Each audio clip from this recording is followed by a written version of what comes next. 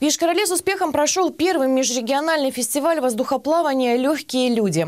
В течение четырех дней в окрестностях столицы Мариэл то и дело появлялись в небе огромные воздушные шары. Впрочем, те, кто не успели вовремя фестиваля полетать в корзине аэростата, могли увидеть музыкально-световое шоу шаров на Патриаршей площади. Обо всем по порядку в нашем материале. Георгий Зименко из Нижегородской области – один из немногих воздухоплавателей России, кому в свое время покорилась высота в 5000 метров.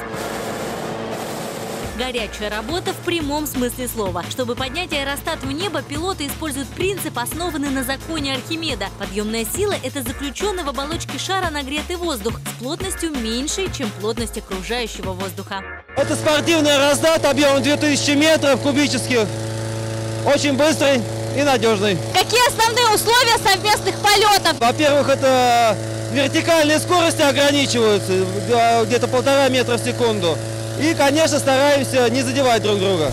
Каждый день фестиваля ранним утром и вечером воздухоплаватели замеряли ветер и решали, куда выдвигаться на старт. Иногда из-за плохой погоды полеты приходилось переносить. Безопасность превыше всего. Впрочем, это не испортило впечатление от фестиваля ни у тех, кто наблюдал совместные полеты трех, четырех, пяти шаров с земли, ни у тех, кто наблюдал за всем происходящим с неба. Это дополнительный опыт, как э, говорится, всегда любое дело со временем начинает надоедать, и нужно что-то такое, какое-то новшество э, включать, вводить.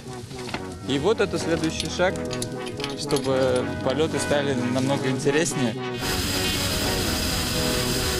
Фестиваль «Легкие люди» поддержали не менее легкий на подъем бизнес-партнеры, а также Комитет Республики Мрел по туризму и авиационно-спортивный клуб ДОСААФ России в регионе. На Патриаршей площади мастер-классы от пилотов для всех желающих жителей республики и туристов. Здесь шары в небо уже не поднимались, однако и сам процесс подготовки аэростатов в самом сердце Ишкаралы многих просто завораживал. Интересно, что-то новое, но побольше бы таких мероприятий. Впечатления очень эмоциональные, здорово.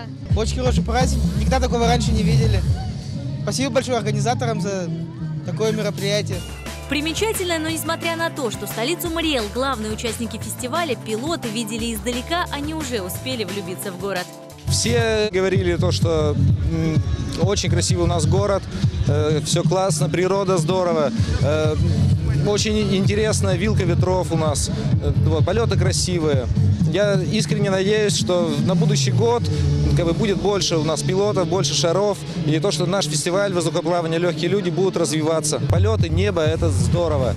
За время проведения фестиваля в окрестностях Ишкаралы организовано четыре совместных полета. Желающих почувствовать себя птицей оказалось немало. После фестиваля еще больше. В клубе воздухоплавателей «Легкие люди» десятки заявок от тех, кто не пожалел деньги на яркие впечатления.